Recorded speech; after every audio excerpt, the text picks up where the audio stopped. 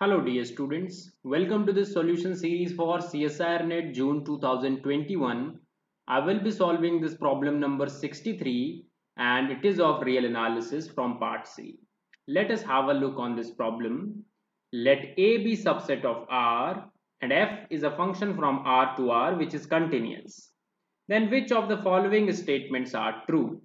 If A is closed, then image of A is also closed.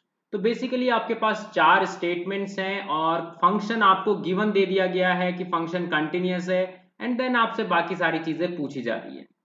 तो इन चीज़ों को बहुत सारे ऑप्शंस जो इसमें हैं, उसे हम डायरेक्टली फील कर सकते हैं क्योंकि ये रियल लाइन पर फ़ंक्शन है। तो जैसे कि अगर मैं एक फ़ंक्शन लू रियल लाइन से रियल लाइन पर, और मैं मैपिंग इसको दू एक्स स्क्वायर ठीक है? अब मैंने एक सेट उठाया ए जो कि था माइनस वन टू वन ठीक है? और आपका ये जो सेट होना चाहिए, ये क्लोज होना चाहिए। ठीक है? तो मैंने क्या किया?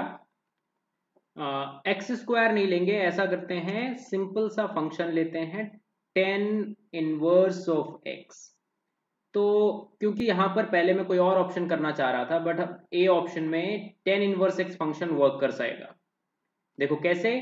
क्योंकि आप क्या जानते हो टेन इनवर्स एक्स के बारे में? कि आपका जो आंसर आता है टेन इनवर्स एक्स में, वो हमेशा माइनस पाई बाई टू से पाई बाई टू के बीच में आता है, right? Now if you have this function tan inverse x and you take A as the real line it then क्या होगा? जो आपका रेंज सेट आएगा that means f of A वो कितना आएगा? क्योंकि minus pi by two is an asymptote to the curve, pi by two is also an asymptote to the curve, so answer आएगा minus pi by two to pi by two. So that means ये example जो है, counter example हमारे लिए work कर जाएगा। और आपका क्वेश्चन कह रहा था कि image of a close set is close तो वो बात गलत हो जाएगी because it is not close तो ये क्या है? क्लोज नहीं है। So it is not closed. Thus A part is incorrect now अब हम चलते हैं अगले पर। तो कहा यह जा रहा है कि अगर ए सेट बाउंडेड है तो preimage of A is also bounded but आप ध्यान रखो, ये चीज़ कहीं कहाँ से जा रही है? ये जो ए सेट यहाँ पर बात हो रही है, ये कोडोमेन का ए है, तभी आके हम प्री इमेज ऑपरेटर को अप्लाई कर रहे हैं। तो अगर मैं रियल लाइन से रियल लाइन पर एक कांस्टेंट फ़ंक्शन को ले लू f x is equal to let's say five तो मैंने अपने ए को फाइव ही लिया।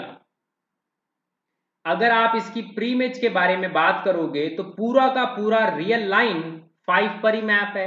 तो प्रीमेज आर आएगा। तो कहा जा रहा है कि अगर कोई सेट बाउंडेड है तो उसका प्रीमेज भी बाउंडेड होगा। बट ये तो बाउंडेड नहीं है। It's not bounded so B option B क्या हो गया? यहाँ से इनकरेक्ट हो गया। सी ऑप्शन तो आप जानते हो कि रिज़ल्ट होता है directly you know that close and bounded in R is actually compact set ठीक है? हम क्या जानते हैं? हम ये जानते हैं कि continuous function function maps compact set to a compact set तो कंटिन्यूस फ़ंक्शन हमेशा कॉम्पैक्ट सेट को कॉम्पैक्ट पर ही मैप करता है. That's why C part is right now D में कहा जा रहा है कि अगर ए एक बाउंडेड सेट है देन उसकी इमेज भी बाउंडेड होगी। ठीक है? इस चीज़ को मैं आपको बहुत इजी वे में समझाने की कोशिश करूँगा। तो डी पार्ट जो है आपके लिए बहुत इंपॉर्टेंट है।